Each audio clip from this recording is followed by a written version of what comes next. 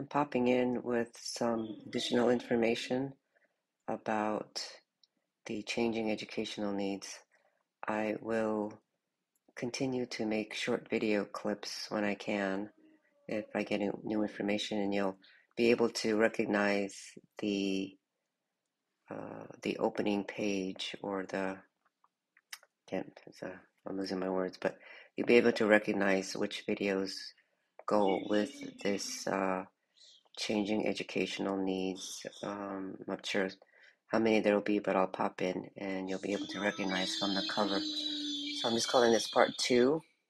Uh, so the other deeper, more, um, I don't know, more information coming in or ways to think about new education um, with this new, with the emerging, well, I wouldn't even say emerging, I don't even know what the right word is, but uh, the um, going to a 5D human, let's say, 5D multidimensional human.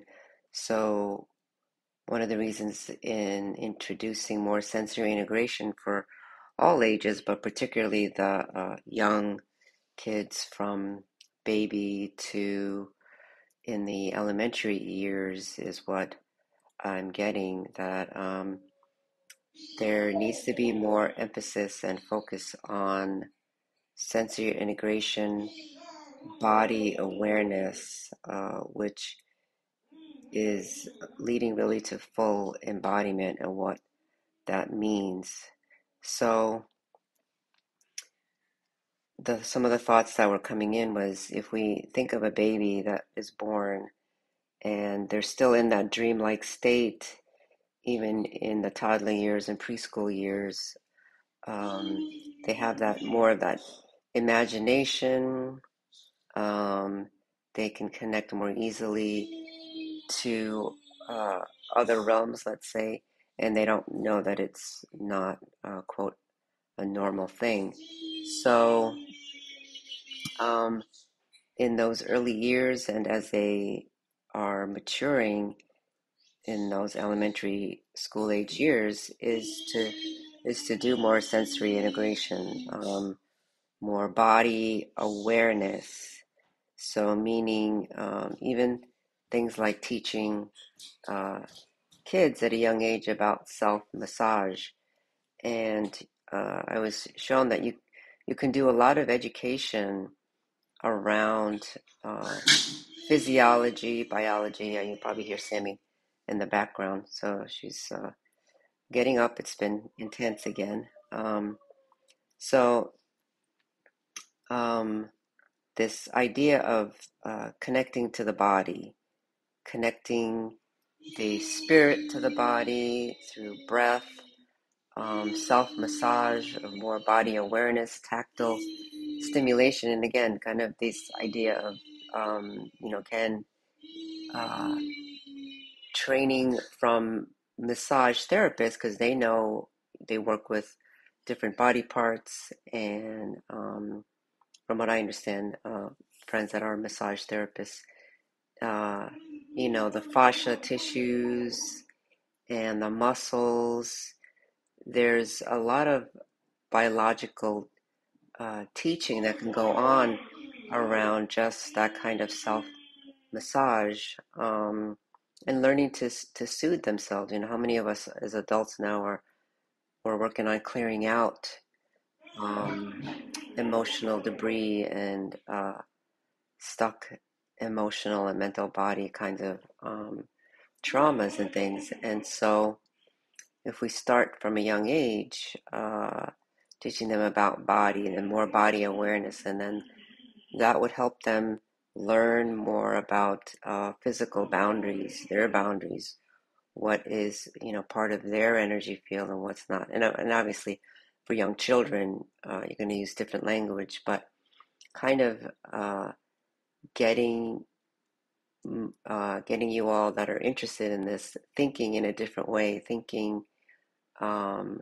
about how you could teach a multitude of different kinds of topics through this sensory integration. What are their senses? But you know, I mean, they touch on it in school, but you know, really doing more exploring through their own bodies and body awareness. And It might be easier than to identify uh, kids who have synesthesia, right? Uh, crossover of different senses, which probably as we as the human evolves is going to become more of the norm uh, in a sense, but kind of learning then identifying uh, will be teachers, um, guides, uh, educational guides, let's say, in schools will be able to kind of more identify these different uh, types of sensory systems in uh, children earlier on and um, then learning to use that as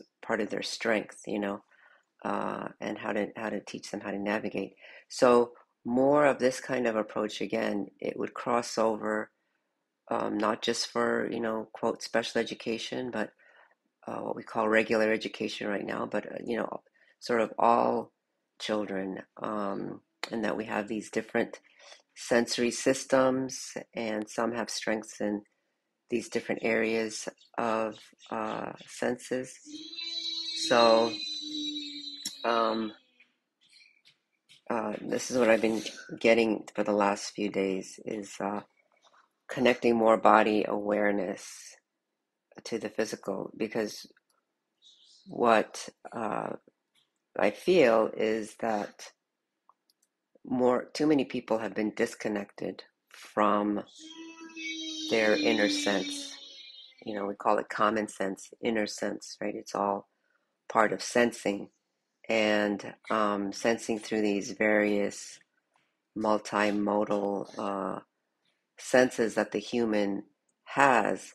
So it's about then exploring even kind of in the long run uh, about what does it mean to be human? What are our strengths as humans? What are we here to do? That's kind of the bigger um, one of the bigger questions. But also then that uh, children from a young age learn to discern discern about what their energy boundaries are who they are uh, more self-awareness um, and then as they get older uh, when they get ideas um, of creating, you know, asking, is this something that needs to, that can be that uh, should be created? Because there are some things that um, we shouldn't create, even if we have the idea. And this is one of the problems I feel that's happened on the planet, where scientists can have these brilliant ideas and they want to see if they can do it. But is it good for the planet and is it ethically right to create it? So, um, learning to take responsibility of what we're creating and whether it should be created, does it cause harm to the planet or ourselves?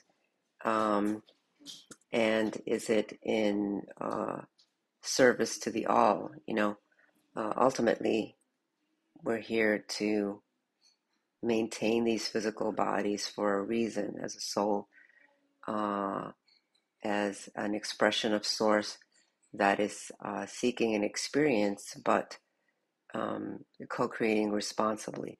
So those are those are just some of the thoughts that are kind of coming up in in thinking about uh, a new foundation for education. So I hope that's helpful. And again, I'm kind of more the messenger. The information is um, I'm delivering, I'm transmitting it. It's energetic, so uh, um, you know there'll be more people, obviously, who have better uh, ideas of how to implement it. It may um, inspire people to develop kind of these different kinds of curriculums.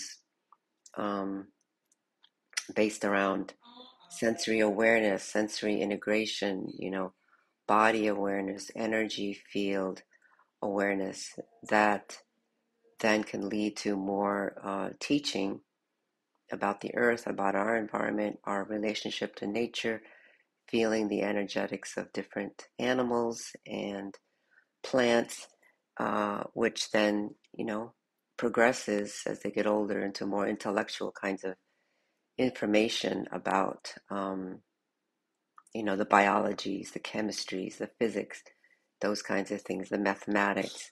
So, uh, know, it all they, they they all seem to have this. There is some some sort of natural progression to that. Um, so anyway, wanted to throw that out for more people. And again, uh, you'll recognize the if I have any additional information, you'll recognize uh, this series with this cover, and you know, it'll say part three, part four. I don't know. Like I said, I don't know how many there will be, but I'll share as I'm inspired to share. So hope everyone is having um, a graceful time as it's uh, really intense leading up to the solstice, uh, the summer solstice of 2023.